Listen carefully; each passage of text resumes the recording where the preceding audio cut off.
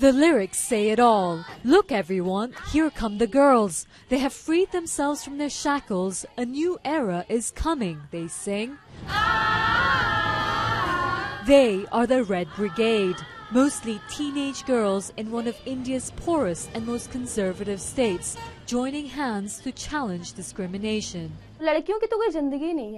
A girl isn't allowed to make any decisions for herself, including what she eats, what she wears, if she goes to school.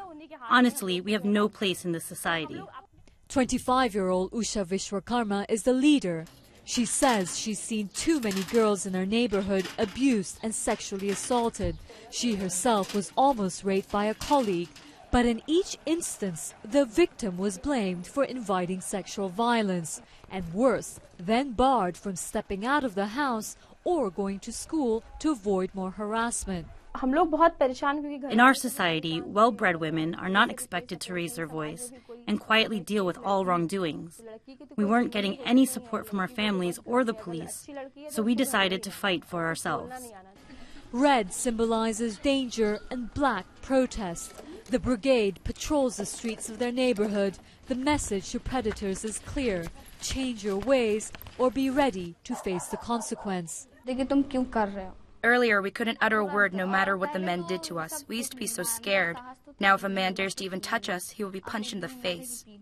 16 year old Afrin Khan smiles because she really did punch her attackers, given the confidence to defend herself by these self defense classes. Every single one of these girls say they're a victim of some form of molestation, harassment, or sexual assault, and they're now learning to fight back. Critics say this form of vigilante justice is testing the law, but these girls say they have to protect themselves because no one else is.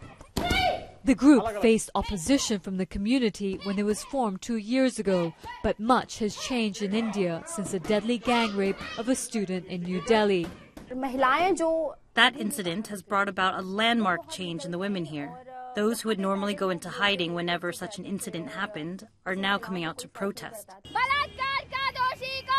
The Red Brigades sounding a note of defiance for India's women. Sumnima Udas, CNN, Lucknow, Uttar Pradesh.